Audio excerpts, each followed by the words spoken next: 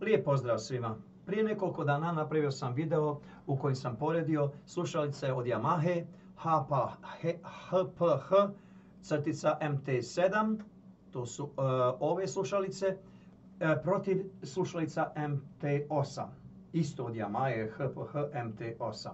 Znači, uh, ja već ove slušalice MT7 imam već duže vremena i obožavam te slušalice zbog toga što imaju jako kvalitetan zvuk, može se čuti e, kompletan miks jako dobro, plus svi instrumenti odvojeno se mogu jako dobro kontrolirati. Prilikom snimanja imam fenomenalnu kontrolu i sve su to razlozi koji su mene ubijedili da ja obožavam ove slušalce, da su to moj izbor broj jedan momentalno slušalce koji ja koristim i ja sam na osnovu toga kupio novi model e, za kojeg sam u tom momentu čuo jako dobre informacije i htio sam da vidim što je to i htio sam da to kupim i da imam ako je i bolje od onoga da to zadržim.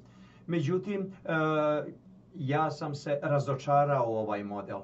U samom početku kad sam poredio u mom prvom videu ja sam bio uzbuđen, to, je, to su bile nove slušalce koje sam poslušao i ovaj učinilo mi se da imaju više visoki, više duboki, da imaju malo širu zvučnu sliku. To je sve bio prvi moment, jel tako? Međutim, slušalce trebate jedno duže vrijeme da koristite, trebate da miksate, trebate da radite, trebate da snimate i da onda donesete finalnu odluku da vidite kako vam one služe u tom vašem eh, poslu i koliko vam one pomažu u tom vašem poslu.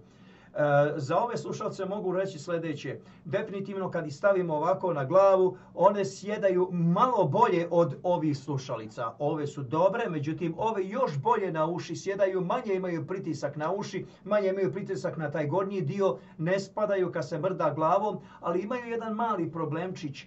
Kabel koji se ovdje prikači za te slušalice znači koji se stavi malo kad se mrda glavom može se čuti njegov uh, taj šum jel tako? Ili kad se dotakne taj kabel može se čuti malo šum. Znači to je jedna malo mana od tih slušalica. Međutim šta je veća mana od tih slušalica? Te slušalice meni ne donose zvučnu sliku po mome ukusu. Ne donose onako kao što to rade ove.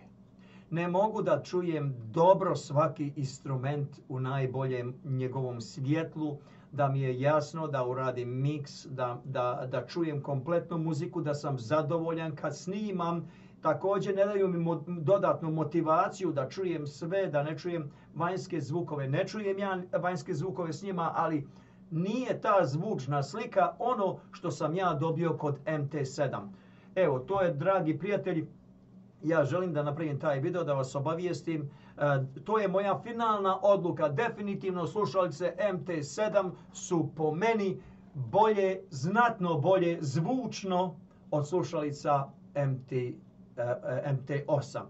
I evo, i zbog toga ja ću iskoristiti moju priliku koja, hvala Bogu, ovdje postoji u Kanadi. Ja ću ove slušalice odnijeti u prodavnicu gdje sam ih kupio i zamijenit ću ih za još jedne MT7. Jednostavno, pošto sam ja često u Bosni, jedne ću držati ovdje u Kanadi, jedno ću odnijeti u Bosni, nekih imam u Bosni, jel tako da ne moram misliti na nosanje slušalica, ipak one zauzimaju određen prostor.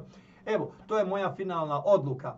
MT7 slušalice su e, definitivno po meni bolje i kvalitetnije nego MT8 po onome što ja čujem. Ne govorim onome što oni pišu i onome što neko drugi kažu, već ono što ja čujem i ono što meni koristi i ono što meni olakšava moj rad u studiju uh, kada miksam, kada snimam, kada radim mastering.